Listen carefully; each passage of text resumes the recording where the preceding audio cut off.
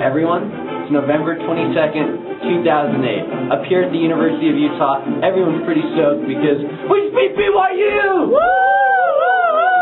48 to 24 at Rice Eccles Stadium. It was a good game, except for BYU. They got their asses kicked. This guy would like to say something about it. Hello, Salt Lake City.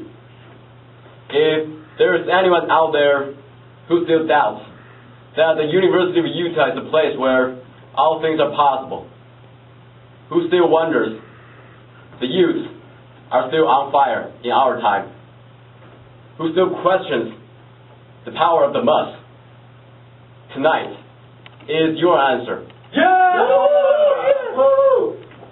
Is the answer told by lines that stretch around schools and TV stations in numbers that this nation has never seen. By people who waited for years many for the very first time in their lives, because they believed that the time must be different, that their cheers could be that different. Yeah!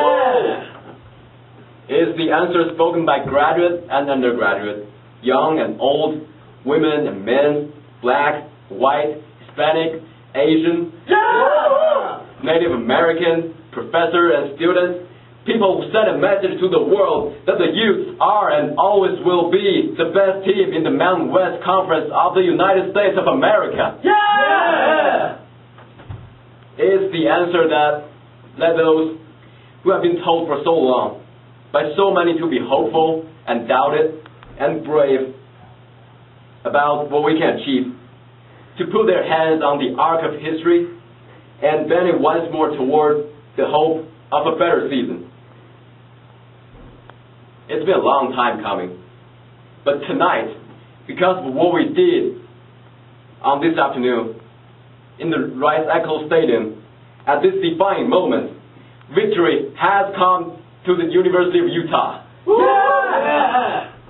I congratulate our competitor, BYU, the Cougars. Please, please, please. I congratulate them for all they have achieved. Above all, I will never forget who this victory truly belongs to. It belongs to the University of Utah, it belongs to the Utes, it belongs to the MUSS, and it belongs to us. Yeah! yeah. And thank you for the Cougars. Thank you, God bless you, and may God bless the University of Utah and the Utes. Thank you. Peace up, A-Town down. Yeah, yeah. Okay, okay.